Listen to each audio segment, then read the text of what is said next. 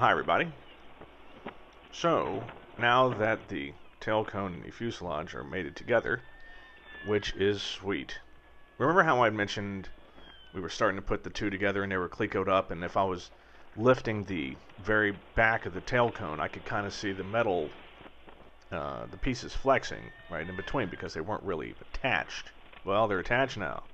If I lift the tail cone up, the whole thing moves, and it is solid as a rock. So, uh, in this video, we're going to start working on a rotisserie for the fuselage. Anybody thinking, what? Or what? A rotisserie. Uh, basically, well, hold on. Before we get into that, check this out. Two things. How awesome is this? And how fat am I? I mean, I know a camera adds pounds and, you know, a wide angle, considering it's like a foot from my... Still, how awesome is it? So spacious. Look at the size. I mean, I had so much room, right? So I, I, I put the uh, cargo bay skins down.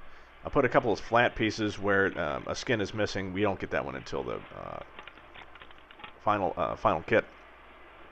And then I just had a big spare like uh, booster seat uh, fluffy uh, foam booster seat that we use for kids when they fly in our planes.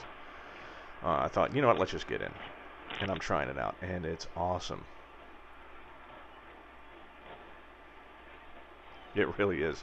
So you can see, yeah, you can see there the skins. You can see the little particle board I used. Uh, and there I am trying to get out. So yeah, spacious. It's the only word that I can use. Uh, so back to the rotisserie, right? Now, all the remaining chapters of the fuselage basically deal with systems. We're, I mean, with the exception of the panel area, we're pretty much done with 99% of all the sheet metal work. Uh, well, the real sad part is that we're actually probably 89% done with all the sheet metal work for the whole plane.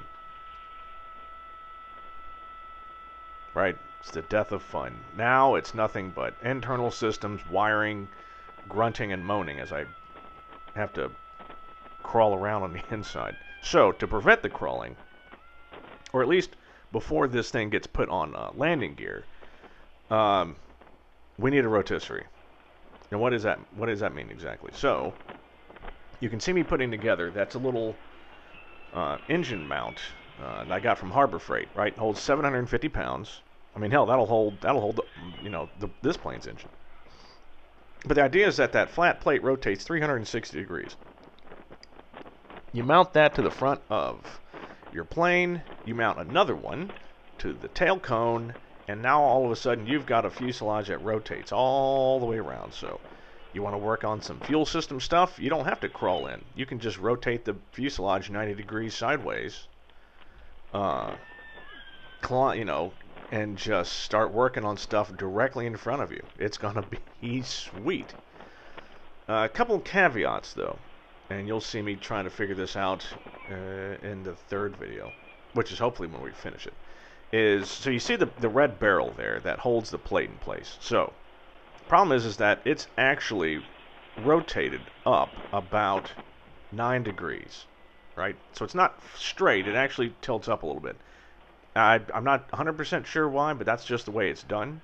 Uh, the problem is if I mount that flat on the front of the fuselage, it's going to want to hold the fuselage up at a 9 degree angle. Well, I kind of want it to hold it straight. Right, so... I'm not 100% sure how we're going to fix that. Uh, if I remove the front wheel from the engine mount, that works because then it just tilts it down. The problem is now I've got to scrape that thing along the ground whenever I want to move the fuselage. So that's, well, I mean, technically that could work. I don't actually have to have it scraping along the ground. If I could connect the two together somehow with like a long piece of three-quarter inch, you know, like black plumbing bar or something, that would be that would be cool. Then it would all just be one piece right? Be much easier to sell as well.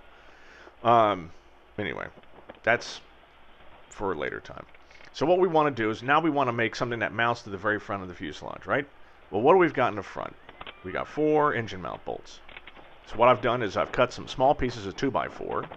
I put them up against the uh, firewall and I outlined the outline of the firewall, cut them on a bandsaw. Then I took a 3 8 inch bolt, you know, wrote all over the front of it with a Sharpie, put it in from behind with that piece of wood in place, rotated it to make an impression in the wood, and that's where I knew how to drill.